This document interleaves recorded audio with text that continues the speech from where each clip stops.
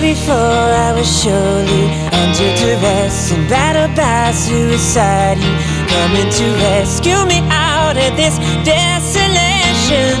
You put my fear in the fire